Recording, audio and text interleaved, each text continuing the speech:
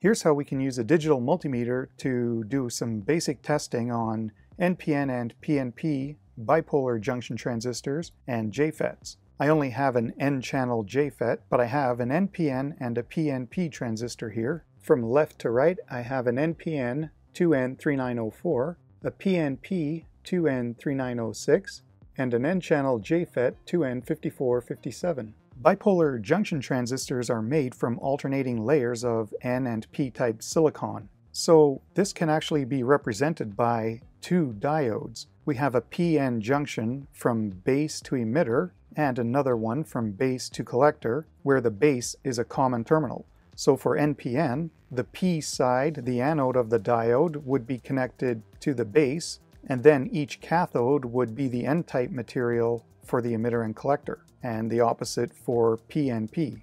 The diodes face the other way with the cathode in common for the N-type. So if we want to test the NPN or PNP with a multimeter, we can check for shorts between any pins with a continuity test, but if it doesn't look shorted, we can also check if these PN junctions are intact by measuring for diode drops. So for NPN, if we put the positive lead on the anode or the base, and we put the negative lead on the cathode one at a time of emitter and collector, we should see a forward silicon voltage drop 0.6 or 0.7 or so volts. And if we then reverse the leads, we should see no conductivity because it's a reverse bias diode, and that will tell us the PN junctions are intact. And we'd reverse the leads to check PNP. So for this NPN transistor, from left to right, the pins are emitter, base, collector. So if I want to test the base emitter PN junction, I will put the positive probe on the base, which is an anode, and the negative probe on the emitter. And I see 0.663 volts, so there's a silicon diode drop. If I reverse the leads, I should not see a diode drop. So that's good. Now to check the PN junction base to collector, I will put the positive again on the base and the negative on the collector. 0.645, another silicon diode drop. And in reverse, no continuity, so that's a good PN junction as well.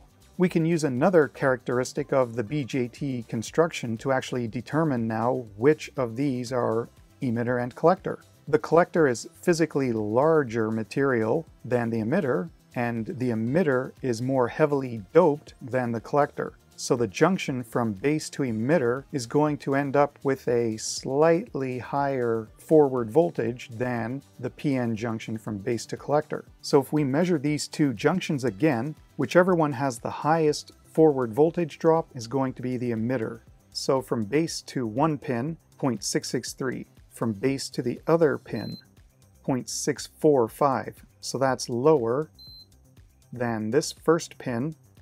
So that confirms the left pin is the emitter, the right pin is the collector, and the center is the base. Now if we look at this for the PNP, all we do is we reverse the leads. So the N-type material, the cathode is going to be the base. So first I'll check the reverse bias condition here to make sure the diodes aren't shorted. So I've got positive on the base, or the cathode, and I'm going to put negative on emitter and negative on collector, and there is no continuity. So these diode junctions appear to be intact. Now to actually measure them, negative on the base, then positive on one of the terminals, 0.674 volts forward bias. The other terminal, 0.665 volts forward bias, which is lower than that first reading. So the pins on here go emitter base collector. Now that we know how to tell which pin is which on a BJT, what if we had one that we're not sure what the pinouts are, or even if it's NPN or PNP, and we don't even know from left to right which is base, emitter, collector, so let's just start probing pins and see what we come up with. So from the first pin to the middle pin, negative and positive, I get nothing showing. I'll keep negative on the first pin and now go to the last pin. I still have nothing. And now just move the negative to the middle pin and check the last pin with positive. Okay, so I have a diode drop, middle negative, right positive.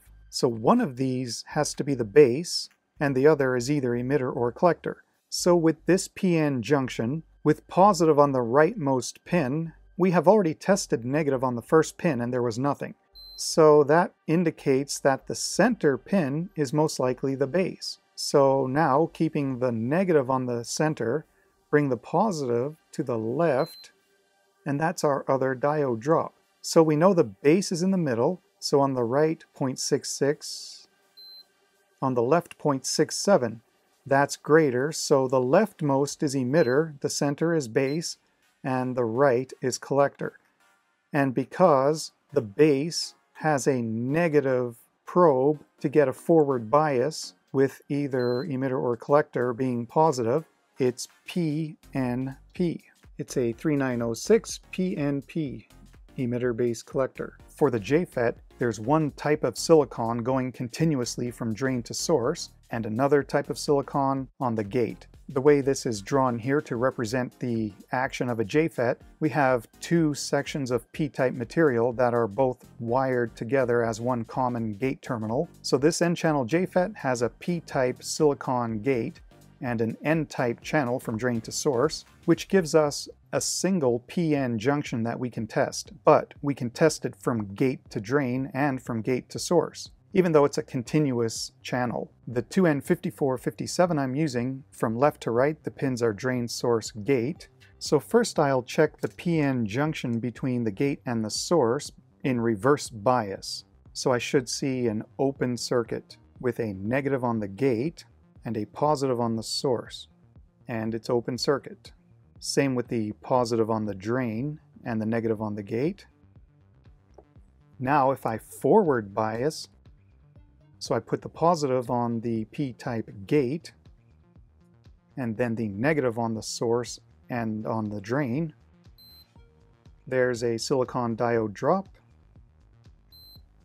and another silicon diode drop. So the PN junctions here look okay, and it's hard to tell the difference between source and drain when probing like this.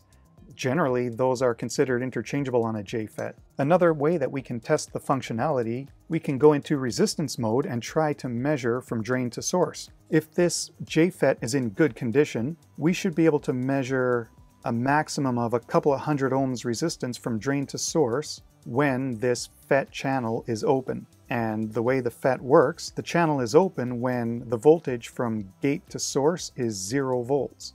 And we can do this just by shorting gate to source while we are probing the resistance. So I can use one meter probe to short source and gate and use the other probe to measure drain and I should have an open channel with a couple hundred ohms max resistance if everything's working well. So I'll put one probe on the drain, then the other probe simultaneously bridging source and gate, and I have 138 ohms. If I am not touching the gate and I just try to measure resistance, it could be drifting all over the place. Right now we have eight or nine megs because the gate is just floating. So if we go back to shorting the gate to the source to open the channel, we have a solid 138 ohms. So this JFET seems to be in good operating order. I don't have a P channel JFET to test, but it would essentially be the opposite. The channel's open when gate to source voltage is 0 volts, and the gate is N-type silicon, while the drain to source channel is P-type. So we would put the probes appropriately to check the PN diode drop here. So that's how we can use a digital multimeter to check if BJTs and JFETs are appearing to be in good working order, and how we can even tell the exact pinouts of the BJT. This can especially be useful if for some reason the markings on your component are not really clear and you don't have a proper transistor tester that can tell you what it is and what the pins are. A good tool to have in the bag of tricks.